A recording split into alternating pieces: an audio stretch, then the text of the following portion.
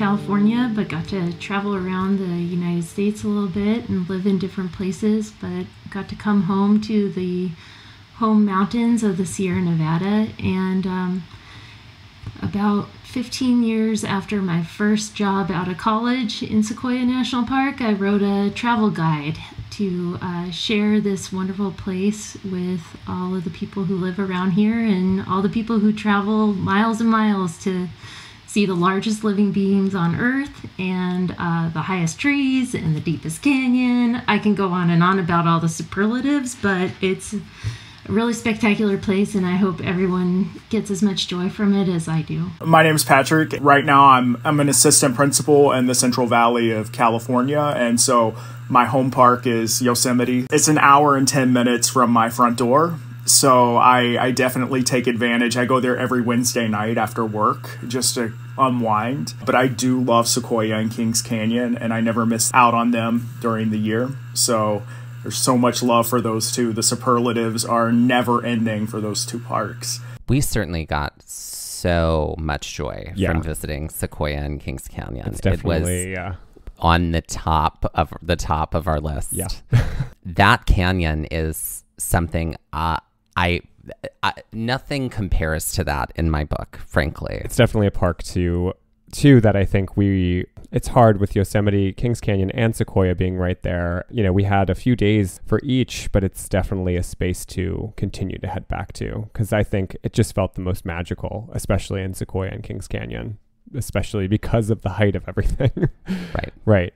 Yeah, I feel like um, a lot of people just come to Yosemite and tack on a day in Sequoia or Kings Canyon and really budgeting that extra time for the experiences you can have in those parks. It's going to be less crowded and it's like, don't tell Yosemite because she's got a little bit of an ego, but Hello and welcome to Trail Mix by Gaze at the National Parks, the podcast. I'm Mike. And I'm Dusty. Trail Mix is the short format episodes of our show. Our long format episodes explore one hiking trail in one national park, one park at a time. Trail Mix allows us to dive deeper into things we didn't get to cover in our long format episodes. That's right. And this Trail Mix is another very special episode. For our last three Trail Mix of the season, we had the opportunity to interview several different people that have incredible reach and impact on the national parks and the outdoors in general. In our last Trail Mix episode, we had the wonderful experience of sitting down and chatting with Brad Ryan and Grandma Joy of Grandma Joy's Road Trip. If you haven't caught their story on the news in the last two years, Brad and Grandma Joy are on a journey crisscrossing the United States to see all of the 63 national parks. They only have a few parks left, and most of them are in Alaska. When Grandma Joy told Brad that after living her life in Ohio, she had regretted never seeing the ocean or a mountain, their journey began in earnest. From an early start in the nearby Great Smoky Mountains to their looming trip to Alaska, Grandma Joy has seen more than just oceans and mountains, but the vastness of the American landscape. Their journey is a testament to so many things, but in many ways it boils down to the beauty of the human spirit and the fact that there is so much life to live and so many beautiful places to see. Speaking of beautiful places, today's guests are big fans of some of our favorite beautiful places in California Kings Canyon and Sequoia National Parks. That is absolutely correct. Talk about the land of beautiful giant trees. I wish that this space was in my backyard like it is for our two guests, Leigh Bernacchi and Patrick Rodden. Leigh is a former National Park Service ranger who spent a lot of her formative years in the Sierra Nevada foothills and a decent chunk of her time as a park ranger in both of these parks. Patrick is an assistant principal and national parks volunteer whose passion for the national parks has taken him to 227 of the 423 national park sites, including 50 of the national parks, especially those in his backyard Yosemite and the aforementioned Kings Canyon and Sequoia. Part of what brought us together was Moon Travel Guides and the fact that Leigh had just completed writing the Moon Travel Guide to Sequoia and Kings Canyon hiking, camping, waterfalls, and big trees. In this episode, we had the incredible opportunity to sit down and talk with Leigh and Patrick about Kings Canyon and Sequoia National Parks.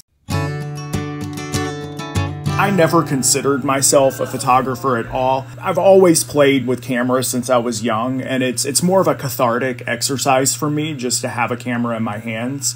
I, I've never actually, and I know this is crazy, printed one of my prints before. It's always gone just digitally online, and, and it has been picked up. And I was really lucky that Moon, you know, respected enough to to put in the back leaf of their book, and just you know, it, it's gotten picked up by the U.S. Interior a few times. I've been in one of their publications too that goes out to all of their employees and you know they're just they're things here and there that I've been picked up on that feels really great uh, with photography I struggle with editing process. So you know what you see is what you're probably going to get when you go somewhere. There's not much of a um, an illusion that I've created because none of these places need any type of extra editing at all. I try to keep everything you know just restore colors and that's it. But i mean it's just it's a way for me to uh, just kind of get out some of my nervous energy and also just a way to keep practicing something because you know there's always something to learn with a camera and speaking of moon travel guides, they are the folks that brought all of us together today. Uh, because Leigh, you just wrote a brand new book. You wrote the moon travel guide for Sequoia and Kings Canyon. What was the process like from like the very beginning of like the inception of writing that book? You had to do a lot of unbelievable things in order to get all the information you needed to get in order to write that book. Crawling on the ground, trying all the pie at that one restaurant there's so many things that uh, you had to do in order to write that book. So we are so curious. Like, take us back to the beginning. I guess I'll just give a, a shout out first to the good people at Moon because this book was an opportunity to engage with a different part of myself than I had for many years. And it was like a hard thing at a hard time. And I feel like it helped heal me. I think that after the time we've all had with COVID and everything, that um, there's nothing as restorative as nature and national parks and the freedom you can have there. So I just hope everyone can spend some time with their friends, family, or alone in the national parks. Because um, just thinking about this book for a couple years helped me a lot. And then the Moon folks are amazing. They really focus on getting everyone out there, like making it accessible, eco, kid friendly, family friendly, but also like solo friendly. Um, not if you're like a gung ho green jean wearing ranger, can you only go to these certain places? It's like everyone has an opportunity to explore the national parks. Here's how to do it. Plus, it's handy to have a book because um, the Wi Fi is so poor and the cell service yes. is so poor yes. up there. In the summer of 2018, I was expecting my child, and um, my job was running out at the University of California, Merced. And so I was like, what am I going to do? And a friend sent me this opportunity to write a guidebook. And Moon is explicit. They're like, you cannot send us a proposal to write about any place that you just want to spend a lot of time at. Like, you need to know that place. And I was like, the only place I know that well is Sequoia and Kings Canyon. And so I submitted this, like, 60 page kind of proposal that laid out all that I would write. And then it took a couple of years for me to finish all of the images and to research all the trails and to get some of the history there were some definite holes that I had from my education and from when I was a ranger there. Like, um, I wasn't as interested in human history when I was 22. and then eventually, like, added some layers in terms of like understanding geology or like deeper ecological understanding. I was a ranger in Denali National Park and Preserve for a summer, and that gave me new eyes on the Sierra. And then I had two years on the eastern side of the Sierra as a ranger for Yosemite. So um, I feel like it just gave me a chance to take all of the things I love about the natural world and learn new human history and put it into one text. It's really amazing to kind of just think about because Patrick, you have you have experience too working with the ranger program in some way too to think about how invested you can get into a space and the magic that it must be to be able to I mean even you Patrick with living an hour and 10 minutes from Yosemite. I'm not not jealous over here.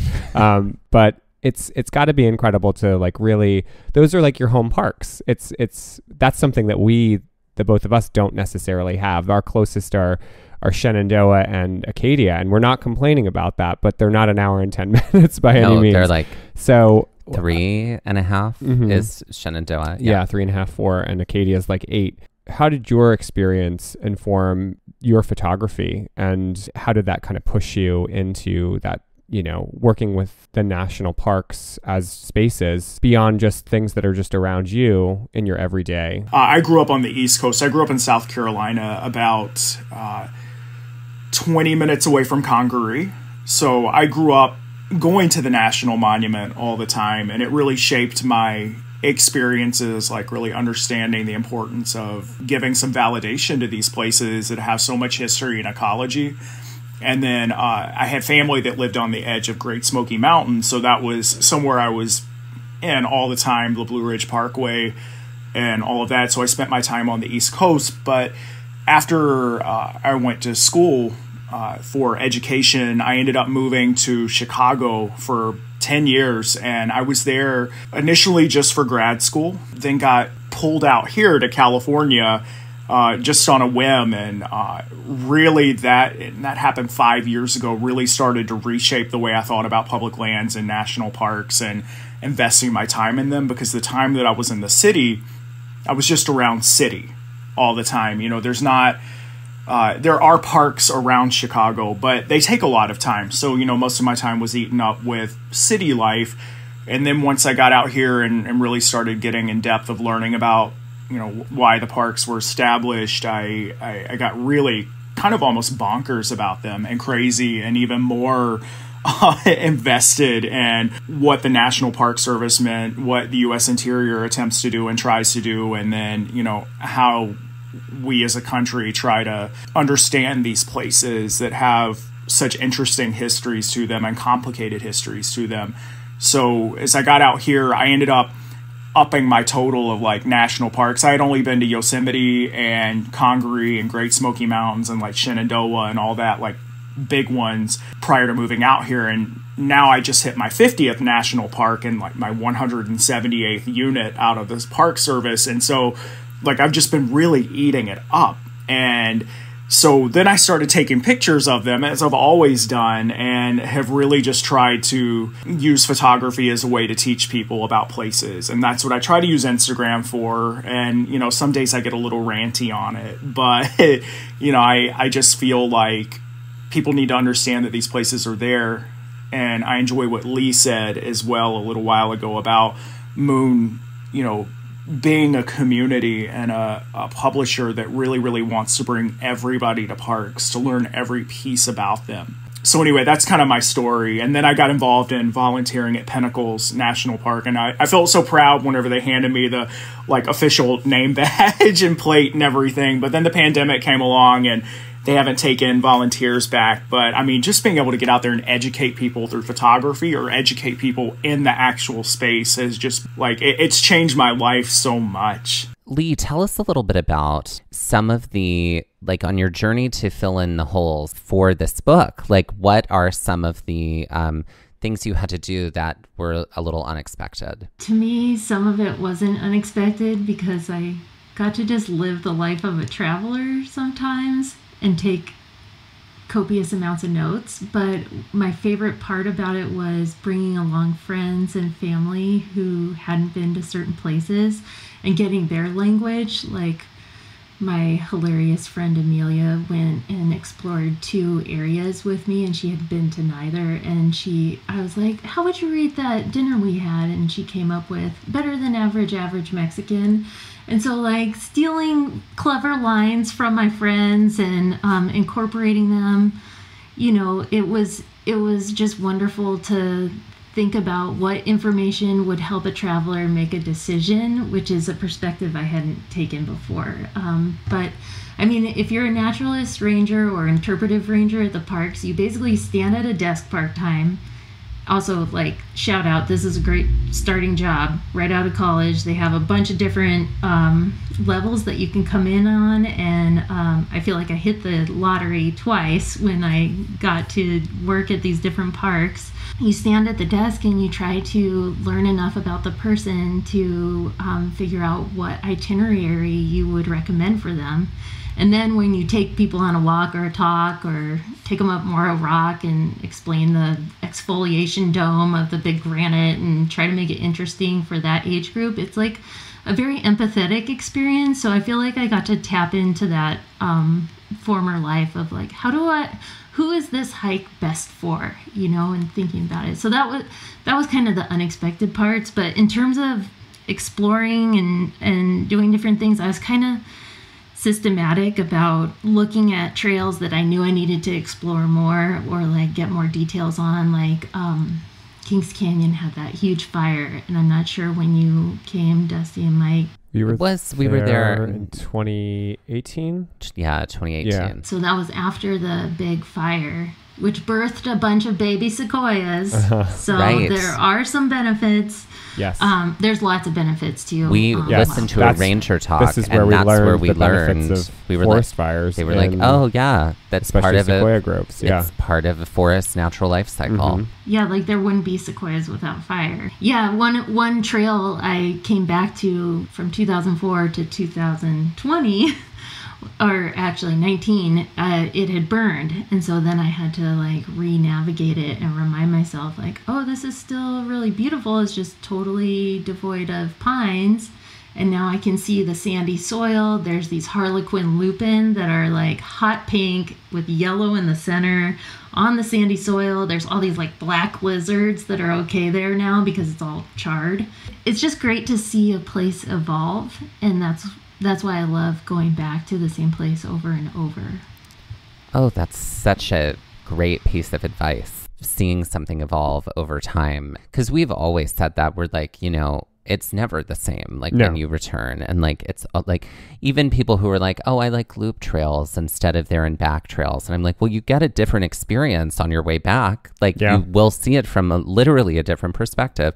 We did a whole trail mix on sequoia trees. If a sequoia tree is in front of you, like the amount of resilience and the amount of like survival it has gone through to come to life is unbelievable because it's like so many of them don't. Like those seeds fall and it's just like just so many of them don't take. And to see the scars, the fire scars Yes. that are as tall as whatever tree burned up right next to it. Yes. Um, or like the big janky arms that are like seven feet in diameter and that's bigger than any other pine tree in the forest. I just every which way, whether it's quantitative or qualitative, morning, noon, night, thousands of people around me or by myself, it's like your mind cannot understand what a sequoia is. You're, it Yeah. breaks your camera, right, Yeah. Patrick? Like it cannot fit in a frame. You're like, I'm trying, I'm trying to capture your No, glory, cannot. and it won't let you. Yes. Yeah, no, I had to turn we get did it. uh, we had to tr- panorama view. panorama going straight up. Like, Yeah. that was how we And were able to get we got of it. that. Patrick, tell us about your time in Sequoia and Kings Canyon and maybe what it's like to photograph sequoia trees. Well, I, I agree with everything everyone just said about taking pictures of them. It's a really odd experience. Really, what I focus more on with them is the detail in them and maybe pieces of them. I remember one shot that I took of Sherman from coming down from the upper parking lot going down the trail to Sherman was just amidst the other trees, but even though it was at you know, a distance and I had other trees closer, it was still larger than anything else. It was really cool. It's so cool to get the perspective of these trees against the trunks of the other ones. But as far as like full blown uh, photographs of them, I've I've laid on the ground a couple of times uh, and pulled out like a wide angle lens, and that's still sketchy sometimes because you still can't get them. I've done the pano thing with my phone too, like you were saying that you've done, and it's uh it, also doesn't quite capture it. And the great part about like looking at people that are are true, true, true photographers that get in there, you know, some pictures that I've seen in Nat Geo of them are so incredible the vantage points that people have gotten like in winter with the snow. And that's something that i'd love to do. I have not been in that park in the snow. I'm not a fan of chains. I mean i've or the cables for my car which i've used several times but it's just more of a an experience that my mind doesn't want to wrap around. Um, and plus after moving from chicago out here i try to stay away from snow sometimes. Uh, oh that's fair so fair. yeah Uh, yeah, you know, thinking about Sequoia and Kings Canyon and and looking at them, I wish I had more of Leigh's perspective of it, just as far as like the amount of time that she's gotten to spend in there. I, have done more than just day trips out there, but the thing is, is I think I've I've truly experienced them more from the aspect of a a, a tourist almost rather than a local and it's it's been really interesting. My experiences in there have been on main trails that a lot of people go on. I've uh, done very little backcountry in there, and part of it is is during the season that is easier to backcountry. I'm usually out of California visiting family or going off and doing other things, and then by the time I get back, I'm invested in work and I don't have the time to spread out these long trips it's so cool to be in a place where, as popular as they are, it, still seems like a hidden place, especially when you get away from Sequoia and go down into Kings Canyon. Yeah, Patrick, I hear you. Um, I I think the only real locals are the animals and trees that get to live in Sequoia and Kings Canyon full time. Like the Sierra Nevada de- denizens, they definitely lucked out.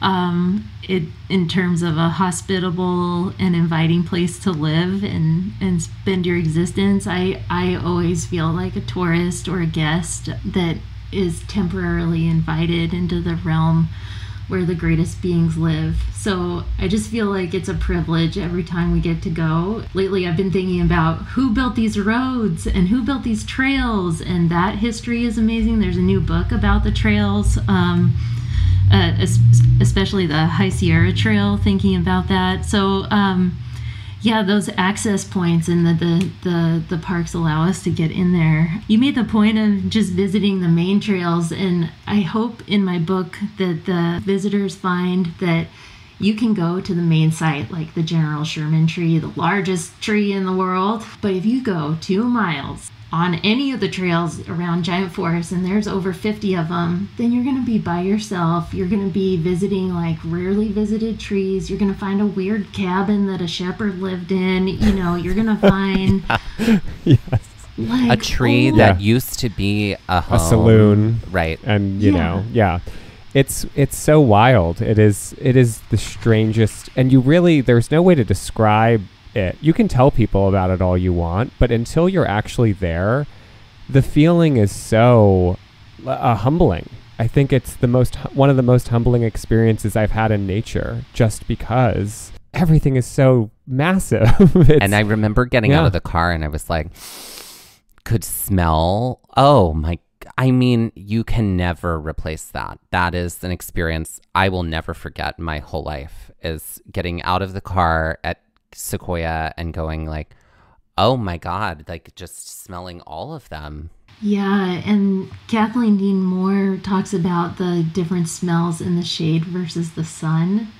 I feel like on a sunny oh. slope on mm-hmm. Big Baldy, it's pure pennyroyal mint and mm. then you go a little bit down into a shady ravine and all you smell is elderberry and then you see all the buzz of bees around it and mm. you're like oh it's a whole new sensory experience and i have yeah. a terrible sense of smell so if i can smell it anyone can yeah i mean i think that's something too in a national park most people i would say are really your sense of sight is the thing that is probably the most overwhelmed and maybe it's it's not that often that we think about the sen- our sense of smell in those spaces because you're right there are definitely those changing smellscapes. And even in the sun and the shade, it's different. And it's such a beautiful thing to be able to have that invitation, to use a word that you used earlier, Leigh, to be there, um, to be able to like experience that for however long or short you get that experience. Yeah, the first thing I do whenever I get to a Sierra Nevada creek or lake or river is smell the water. There's no smell like the Sierra Nevada River water because it's straight snow melt into that beautiful granite bed and it just has its own smell. And I think most of us don't experience the smell of water at home, at least. I, I don't know that I've ever thought of that. I think I guess for I I just I'm used to it from living by the beach my entire For- life. I mean, so beach- I've got that beach like water. salt, you know, salt water oh, smell. that's yeah. definitely Mhm. something. Take a breath and smell the water. Oh, Hmm. that's a great piece of advice. Yeah. thinking about Patrick having a having opportunities to go into the backcountry. Uh, Sequoia, Kings Canyon, and Yosemite, obviously, like very um, temperate climates. Like it doesn't get that cold in the summer. Um, the mosquitoes aren't as big as they are in Alaska. You know, there's not that many poisonous things, and the the mountain lions that you would get to see are so rare and so beautiful. Like you're more grateful for the opportunity to even see their paw print than you are afraid of them. So it's like it's where I did my first solo backpacking and I went several times just by myself for a couple nights and I haven't done it for a long time. Um, I think my fear sensors are higher now that I'm a mom or something, but it is just it's one of the best places to get your start and I think if you haven't tried backpacking, REI has trips, Sequoia Conservancy has trips you can often find like groups in your community who will travel there. Like churches often go to those parks. So I know there's opportunities to get your start in the backcountry in Sequoia and Kings Canyon in particular. Um, and it it is a life altering experience. So Speaking of trails, do you remember any of the trails that you've done in Sequoia? my one of my favorite hikes was with my friend Amelia. We were going up to Eagle Lake, which is in Mineral King, the southern side of the park, and you pass through a sequoia grove to get there, and then you drive to the end of this long, windy dirt road, not for the faint of heart. Um, but then the hike is amazing. You're climbing up the edge of a glacier carved valley, and there are all these bright crimson penstemon, and then there are hummingbirds drinking from all the penstemon, and in the background are like the orange and ochres of like the metamorphic cap of the Sierra, like the ancient seabeds that are at the very top of the mountains right now. I don't know. It was kind of mind blowing, but my favorite part was to arrive at this lake and to hear the voices of children and all these people around it, like miles into this weird place, just delighting in it, like the echoes of people's voices off of the granite around us. It was just a perfect day, and we ended it up, up with a lot of pie and beer. Yes. Ain't It's that the how best to way to end end a the day, day. right? A Pie lot and of pie beer. and beer. It's a surprisingly good combo and nutritious. Yeah. I've I've done pretty much everything like giant forests and and Leigh was talking about going 2 miles away from Sherman. I've done all of that stuff back in there. I don't know the names of it, but weaving in and out of all the trails that encompass the giant forest. Um moving over into Kings Canyon into like the the Grant Grove, which is so easy to do, and then going down in the canyon and just I, I remember doing so much walking going into the meadow and then starting on some of the Rae lakes loop but I, I know and Leigh might be able to confirm this I, I feel like that's starting to be like a more heavily permitted place now and and i'm so bad with permits because i feel like anytime i go in a lottery for one or try to get one i can't get one.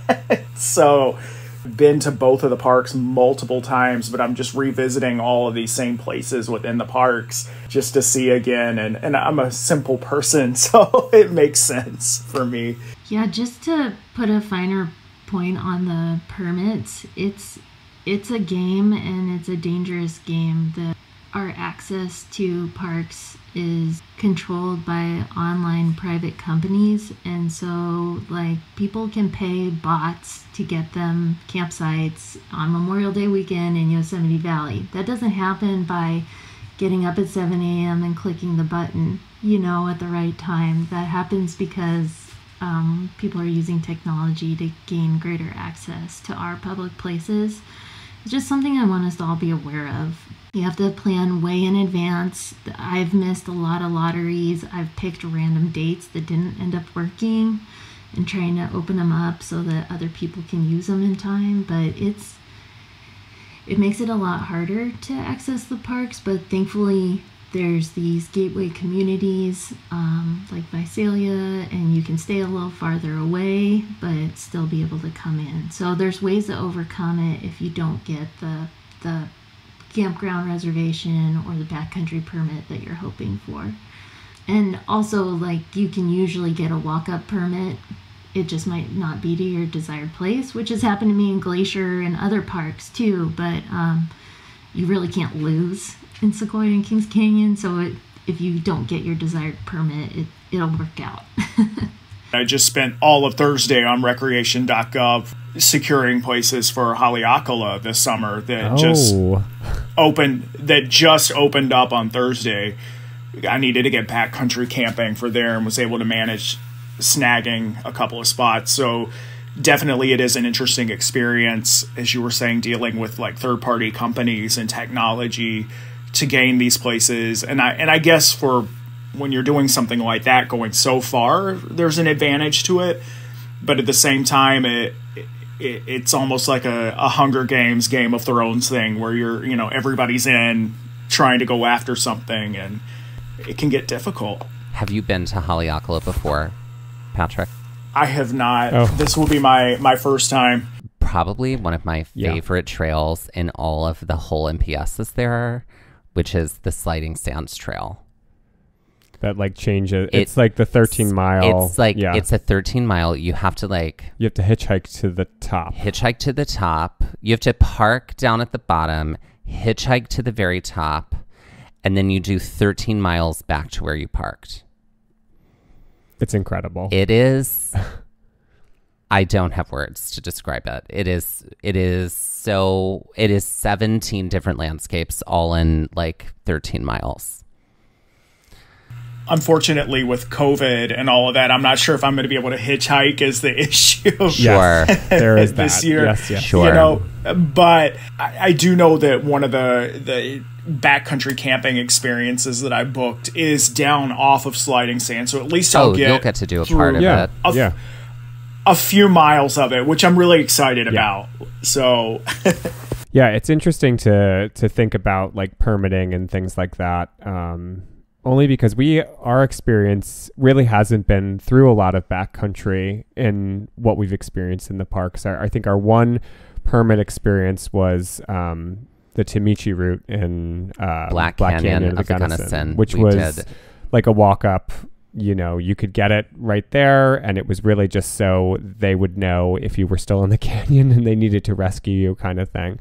Um, so it is interesting to to think about that, Leigh. To your you know to your point earlier, um, because even in booking things over the summer, this is the first time that we'll be camping in actually a national park proper. We're on our way back. We're hitting the Smokies for a third time, and that is where we were able to get a campsite through recreation.gov. So um, it is a it's a process that you know we're starting to like develop into more and and work with a little bit more now that we're camping a lot more because that was not our our necessarily our process for visiting parks for a long time. So like you were saying too, just with even being able to go to a gateway community and stay somewhere and then drive in or do what you need to, that was a lot of our our initial experience. And I have to say to that point, it's those gateway communities do offer a lot. There there is a lot there.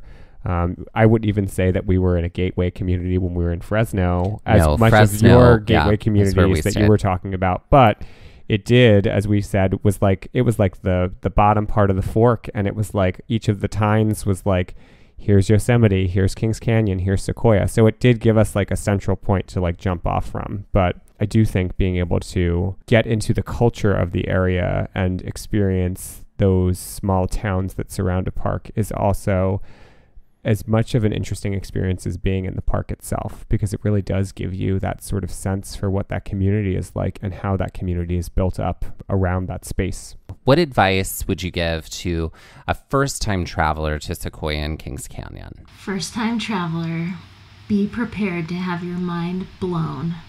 I would pack a little picnic and then I would plan to spend two or three days either in the park or coming back and out, back and forth into the gateway communities.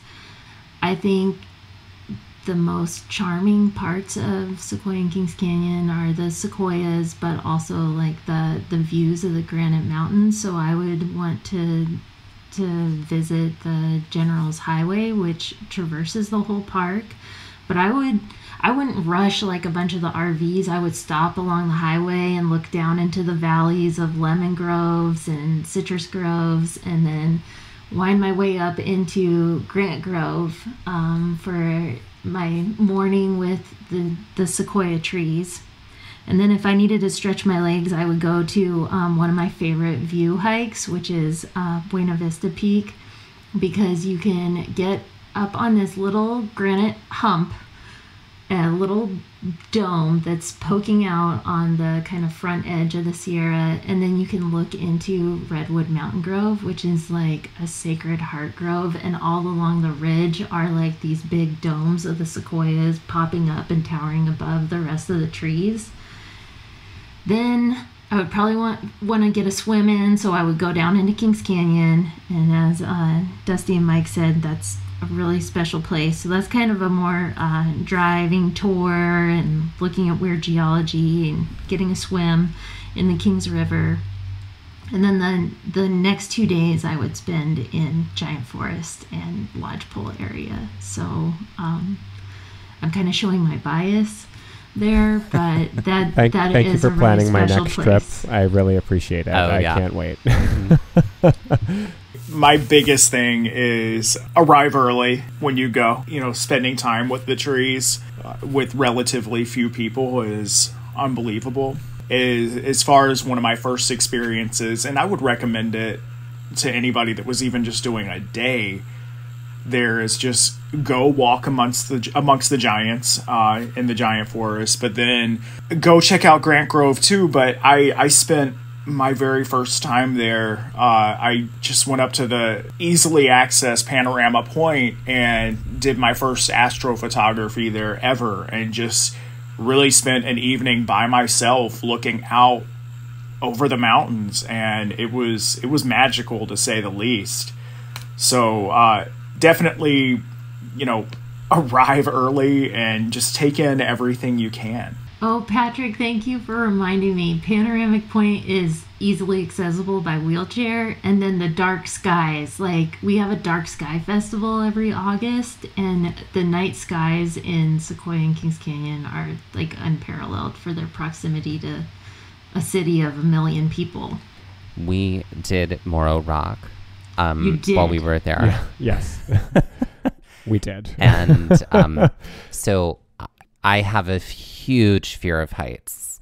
That is uh, something I, you know, deal with because I'm like, I want to do it. I also know how I'm going to feel when I do it, but I still want to do it. You know, like there's a lot of that. And um, seeing Moro Rock from the side, I was petrified, totally frozen. I still did it. I um I do Moro Rock again before I did Angel's Landing, the chains on Angel's Landing again. That's for sure. I'm not usually affected by height, and that Moro Rock kind of threw me into a little bit of a tailspin because it was it was just different. It was unassumingly frightening for me once I was on it. Yeah, Angel's Landing I did for a sunset hike in Zion or sunrise hike, so I didn't know I was on the chains at night, like really. And then coming Oh. back, I was like, "Excuse me, um, I was not informed of this." um, and Moro Rock has that terrifying element because there's usually about 55 people jammed up in one corner, and like three of them are wearing high heels, four of them are carrying backpacks. There's usually a loose toddler, and um, there's a standing on the busload coming behind Yep. you. Yeah. Yeah. Yeah. That's a It's a- great way to describe it. Yes. It's a little wild up there. Did you get the T-shirt though? Did I get, you know, no, did I we get- didn't get the T-shirt. I didn't get the That's Moro usually Rock your, t-shirt. That's usually your I, uh, I mainstay. should get the Moro Rock. I did get the Angels Landing t-shirt. yeah. Did you enjoy the view though? the view is was you know The view that was, was incredible. amazing. That was an incredible overlook. It of feels all like of you're that. literally just floating in like the middle of this giant open vast area. You know, like it's I I can I can't compare it to anything else I've experienced. One time I was up there and a pair of baby spotted skunks were up there and then they just walked straight down the face. I don't know where they were going. They just went in the night, doo, doo, doo, like no big deal. Oh my god.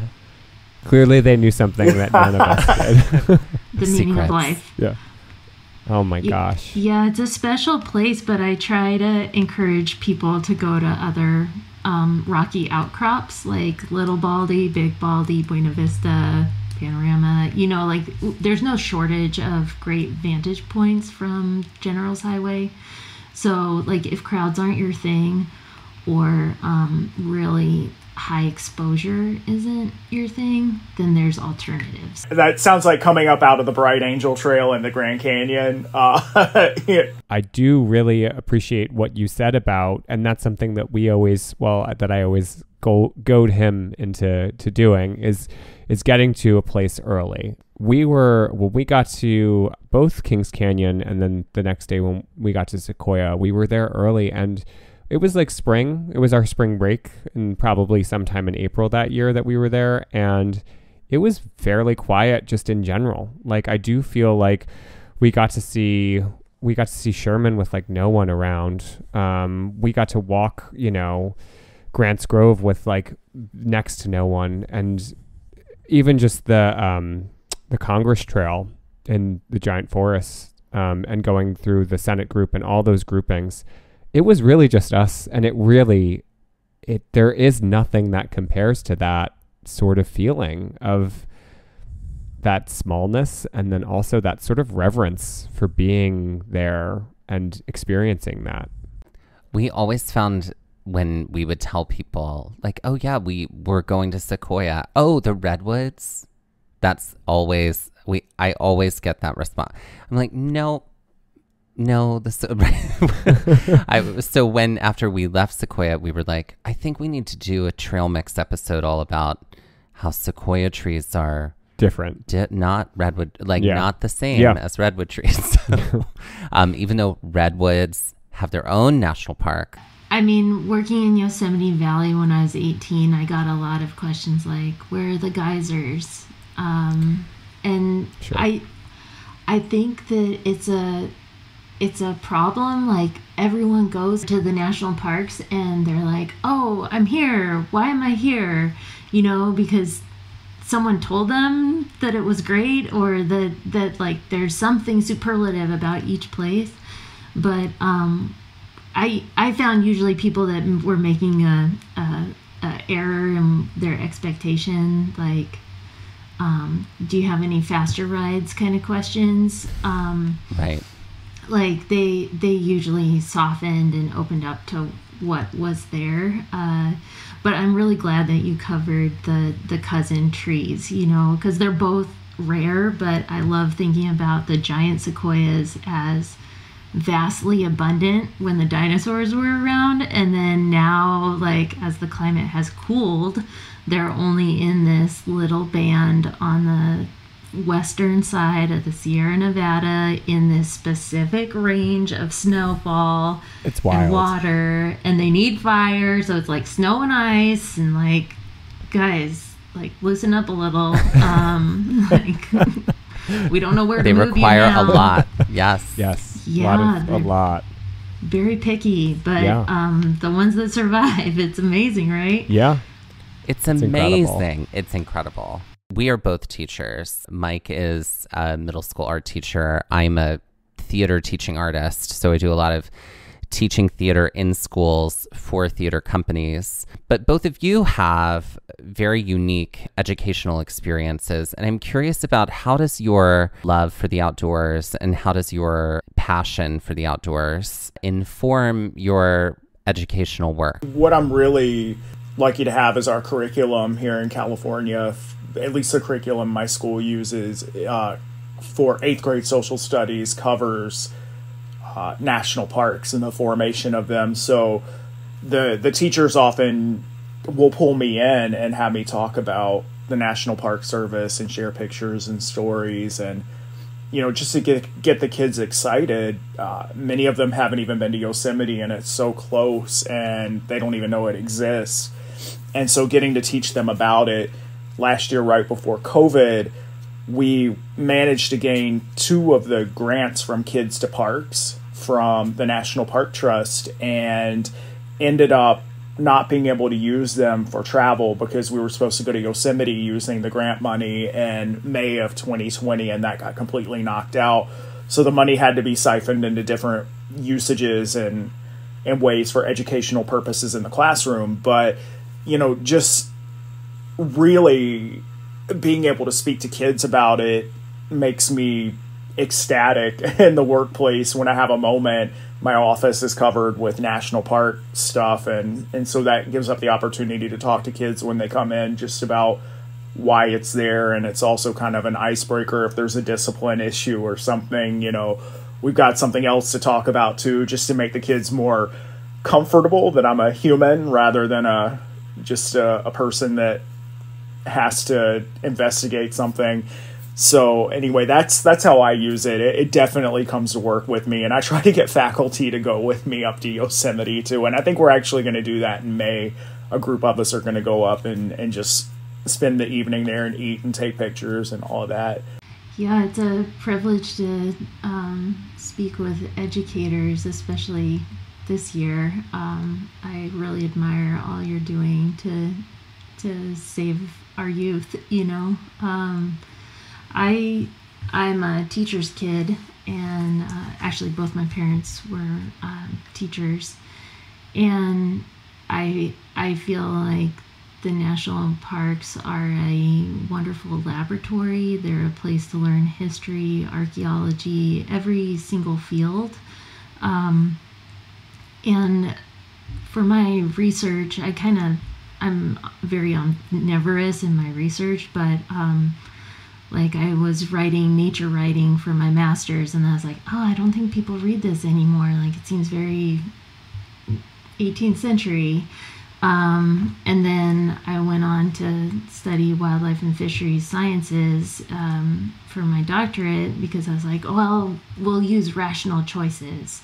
We'll make decisions based on like the science. Well, that the science is interpreted by people. So Um, so then, now, many years later, my real focus is on natural resources and public participation. And so that's why i wrote this book is it's about access. It's about um, creating our own relationship with the places around us and when i moved back to california in 2015 and lived in the san joaquin valley i realized like patrick was talking about how many students and children have not visited the parks of our home. They don't have that sense of pride that I do when I look out my window and see the snowy capped mountains. Um, so that this book is a love letter to the San Joaquin Valley residents. Like this is our home. This is right here. Grab your fourth grader and go to the parks for free. Or for the price of a day at the movies, uh, take your whole family for a picnic under the sequoias. So it's it's really um, just an opportunity to learn more about the world and about ourselves. We have to get on a trail together, y'all. Let us know when you're coming, please. I will drop everything to go on a hike with you. Let's Yes, go. yeah. Let's go. Yeah, yeah, yeah. We have, we still have many parks that we're we want to visit West Coast, uh, yeah, on in the West Coast. So we're Mhm. gonna get there soon. Yeah. How far west are you coming this summer? We're We going to Glacier in Montana. and Yellowstone and um, Yeah. Teton. So that'll Very be as excited far about it. west as we'll be. Yeah. Speaking of recreation.gov, like I have like the thing set on my phone to like get the glacier reservation that opens up Thursday. so, so Get ready for that to that hoping. clogged up recreation.gov. right. Get ready for it to say system system waiting. System Yeah. wait. Yep. Yep. kind of rounding back on the the beginning of the conversation or back to when we were talking for a moment about moon attempting to continue to make parks more inclusive for everyone and educating and, and showing people that they are for everyone but then there's also that aspect of uh, remembering the people that curated the land here first and and so really going into not only remembering that we're we're trying to bring people around in the 21st century to national parks to learn how to enjoy them, but also kind of bringing into the 21st century that we are. Uh, there's definitely a need to recognize the Native American influence of the parks and how they've been shaped over, I mean, thousands of years, and just the curation that went into the land. And you know now how there's this uh, this push now to get you know especially with the fire season that happened in California this past year to to start getting you know more of the practices back in that Native Americans use and getting Native Americans back on the land to help manage parks. So I just I think it's a good thing to remember that as we enjoy them that there there were people here that uh, that lost land. And then at the same time as we're moving forward there are people here too that don't feel included on the land. So there there's so many different aspects to think about while you're out there enjoying that you know there just there's so many facets that go into a national park from the past which is very complicated to the present which is very complicated to the future of management which is very complicated too I hope everyone sees themselves in a national park. Like, get out and see yourself in a national park. Um, there's history of the roads and the first protectors of Sequoia were African American soldiers um, protecting those lands. And there's a Buffalo Soldier um, event, and there's several trees named after uh, uh, African Americans, including Colonel Young, who was leading that troop. Um, and then I think it's one of the most spectacular places to see pictographs from uh, Native American peoples and learning about the First Peoples, uh, the diversity of tribes, and the diversity of language groups that converged in this area. So going to Hospital Rock, which is 45 minutes from Visalia, and seeing those pictographs on the underside of a rock that has lasted hundreds of years, natural pigments and depictions of different animals that um, that have lived there for millennia, and I hope everyone gets to see themselves in the future of the parks. It's it's up to us to protect them going forward. Love to end this interview with a game. We love to throw a game into all of our trail mixes. We invent our own trail games because we like are constantly on the trail, like especially when we hit like like our wall. bodies have mm-hmm. been moving for 17 miles and our minds are ju- it's like we need something to activate our minds. So this game is called The Vault. So this is how it works. Um, we're going to give you a category. You have to choose three things from that category to put in the vault forever. Everything else is no more. So choose wisely. So the category is trail snacks. What three trail snacks are you going to throw into the vault and um, keep forever? Everything else will be destroyed. This is so hard, especially when I thought you were thinking. I thought the vault was like, "What animal are you gonna save?" And then once it turned oh, into Oh, no, we snacks, would I never was do like, that. "Oh No, wait, no, no, no. we're not gonna eat a tanager." okay, No, no, shift. no. no, we wouldn't. No, no, no, no, No. no. No, all species deserve to be saved and protected. We wouldn't do that to anybody. So, but yes, but trail snacks. I'm gonna go for it. Baby carrot, string cheese, any kind of nut. Okay. Oh, great. Baby String cheese is a string good- cheese. Is a good one. We have never taken haven't string, string cheese, cheese. on the trail, and we should do that. Yeah. That is a good idea. Oh, it's uh, that was one of mine. Oh. So I'm I'm glad that there's something that that comes up that's the same here because then I feel really bad about the other two because they're garbage but sustainable. Great. It's the monster mix from Target. Oh, Yes. Uh, yeah. that fully. has like the peanuts and raisins M and M. You know, it's of course I'm eating all the M and M's out of it by the time the first mile of the trail happens. Also, just Cheez-Its too. Cheez-Its. Cheez-Its. Yes. Sodium everywhere. Mm-hmm. Yes, for Sodium, Cheez-Its. sodium, Sodium. sodium. I'm here for you, that, Listen, Patrick. Sodium. this is a safe space for garbage food. All right. So What our favorite- tip: Do not mix the hard-boiled eggs and the Cheez-Its in the same bag because Oh. crumpled up hard-boiled eggs coated in a Cheez-It is not a good combo. that is a Learn that good. That is a hot tip. Hot tips coming in. That from is a hot tip. That's great. Here to help. That's great. What I are your that. What are your trail snacks? well, in that's the a vault, good Mike? question. Um, I would have to say, like, well, now Patrick brought up Cheez-Its, so I feel like the Twisted Fritos. Listen, Oh, the honey Those, barbecue. The honey barbecue twisted Fritos. Sodium. Some sort of granola bar of some sort. Um, and then I think I'm gonna go with like also like junky junk and some sort of like beef jerky something creation. Slim Jim. Yeah. Yep. A Slim Jim. S- snap into a Slim Jim. I'm into that. I'm into that. I think I have to I have to do peanut butter on bagels. We bring that a lot because bagels don't smash as easily in a bag. Dried banana chips. Oh, I could eat my weight in those.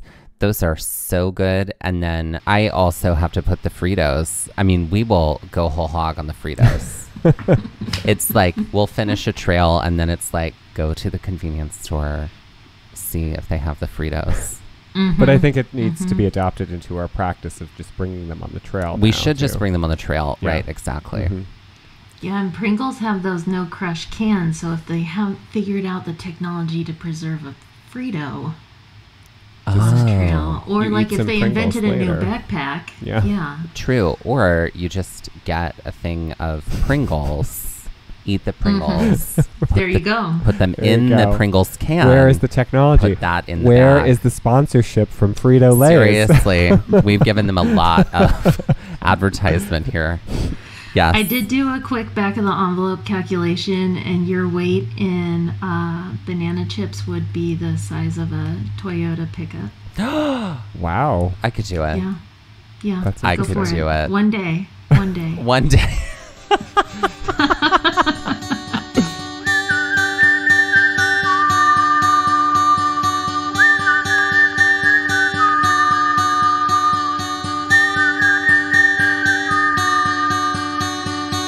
This has been Trail Mix by Gaze at the National Parks, the podcast, and we're here to remind you to hike early and hike often, and that adventure is always out there.